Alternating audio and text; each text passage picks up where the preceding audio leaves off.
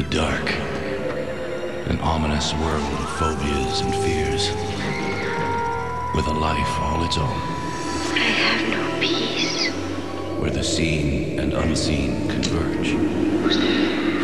And nightmares become reality. Take a walk with acclaimed filmmaker Martin Scorsese as he descends into the mysterious world of the tormented genius who inspired him, casting light on the man who thrilled audiences with his unique brand of terror.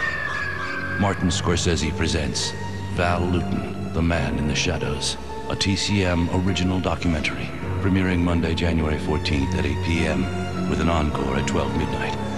Part of a night of Lewton's most frightening films.